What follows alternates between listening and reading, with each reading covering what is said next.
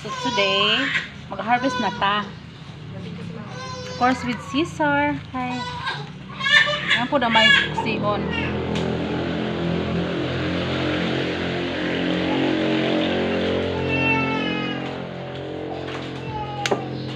Yeah, I did it. Look at this.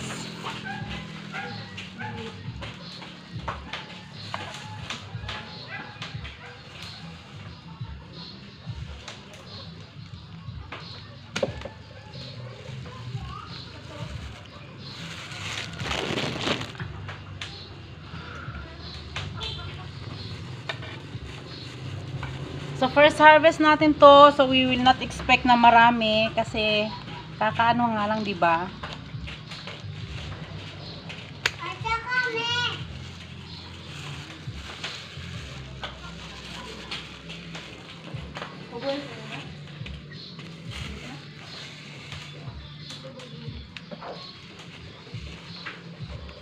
And then syempre, dahil kumuha tayo ng ano, didigan natin.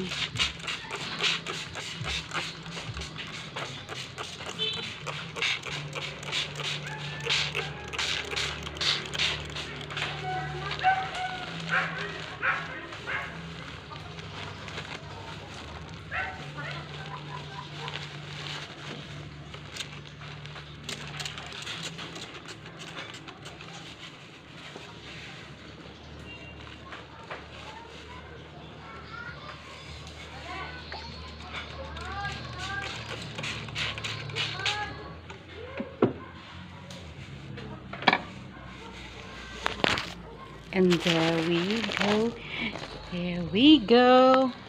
Yan na. Yung first harvest.